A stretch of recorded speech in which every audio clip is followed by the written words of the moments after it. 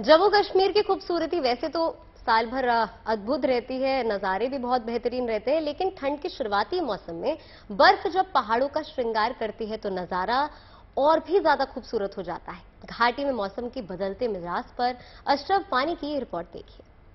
शनिवार शाम से कश्मीर में मौसम का मिजाज एक बार फिर बदल चुका है। शनिवार शाम से ही कश्मीर के मैदानी इलाकों में तेज बारिशें और पहाड़ों पर नई बर्फबारी शुरू हो गई है। इस बर्फबारी और बारिश से मौसम का मिजाज भी बदल गया है और ठंडी हवाएँ अब पूरी गाठी को अपनी चपेट में ले चुके हैं।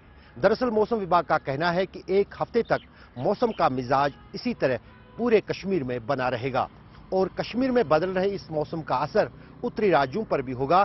खासतौर से दिल्ली और एनसीआर के इलाकों में शायद कश्मीर में बदले इस मौसम से पोल्यूशन जो है प्रदूषण जो है, उससे कुछ हद तक राहत मिल सकती है।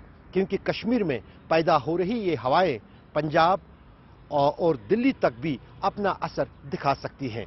तो ज़ाहिर है कि कहीं ना कहीं कश्मीर में मौसम में आए बदलाव का असर उत्तरी राज्यों में देखने को मिलेगा। अशरफानी श्रीनगर।